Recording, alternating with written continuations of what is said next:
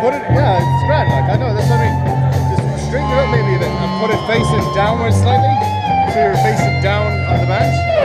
Like, if you get me, like, like this. Yeah, just extend it out. Yeah, yeah. But then look over the crowd at the same time, so you'll be like,